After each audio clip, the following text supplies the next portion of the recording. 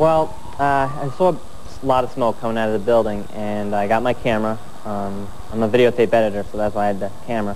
Um, once I saw there was a person trapped, I called 911, and they said they, they were aware of the situation, and the firemen were on their way. I then went back and filmed it, and I was just wondering to myself, how are they going to rescue this guy? Because there's no way. So the firemen, the ladders couldn't reach, so they what they did is they used a human anchor, but that they were, you know, the rope is not Oh, holding onto God. anything. Gee. There are, you know, it's a human anchor. There's, they're not, you know, and they below the floor they broke the window so they could drag him in and get him in. Oh, that is incredible. So what story was he on? How high up was he? Ten floors, Ten floors. and the ladders only reached till seven, so that's why Oh, there was no other way to get him. So is he okay? He's okay. I understand He's they use that video now in fire department training. Yeah. hmm That's amazing. Oof.